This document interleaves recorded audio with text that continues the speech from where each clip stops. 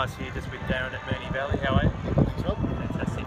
Just a quick update on Mahuta, the Flying Spur. Last time we saw it at Ballarat, it just it looked like a really impressive uh, 100 jump. Yeah, he certainly is. Um, unfortunately, his knees were a little bit open, uh, but that, that's nothing to worry about. He just needed uh, to be put out in the paddock for another 8 to 10 weeks, and I think now he's at 12 weeks, so uh, we've given him plenty of time, and he's ready to come into the stable and uh, go through the, the preparation of trying getting him up to trial stage and uh, obviously see whether he's got any ability. But confirmation wise, he's a lovely strong horse.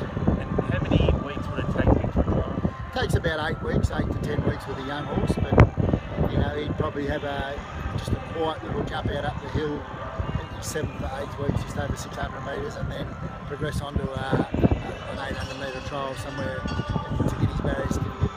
Thanks for the update. No.